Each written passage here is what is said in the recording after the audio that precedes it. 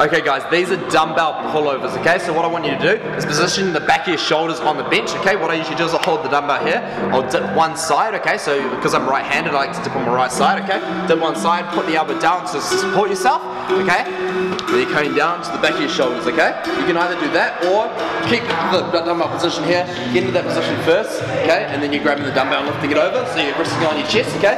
Get in that position so your knees are wider than your shoulders, which I find gives you more stability, okay? Your heels are directly underneath your knees, you're pushing, your, you're squeezing your glutes at the top to start, okay? Now what I'm doing is I'm holding the dumbbell this way, okay? With my hands flat, so my palms are flat against the face of the dumbbell like that, okay? So we're just resting, I'm not applying too much pressure there okay? Keeping that chest nice and high, shoulders retracted, and what I want you to do is as you fall, so the movement is falling back like this, keeping the slight bend in the elbows and pulling up right, but what I want you to do is drop your hips slightly. That's going to create more stretch through the lats, okay? And open up those intercostal muscles a little bit more, so that ribcage is going to open, okay?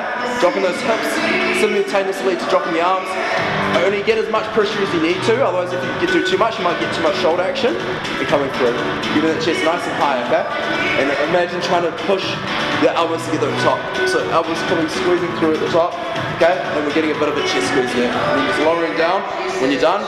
And if you can, lower it onto the bench in a safe way, or just drop it on the ground on the side, to the side